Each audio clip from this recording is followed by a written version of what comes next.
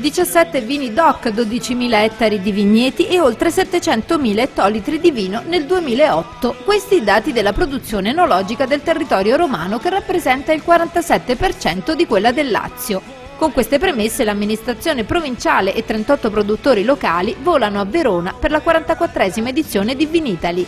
Anche quest'anno, dice l'assessore all'agricoltura Aurelio Lofazio, abbiamo messo in prima linea i nostri migliori vini. Presumo che avremo dei risultati abbastanza buoni, per non dire ottimi.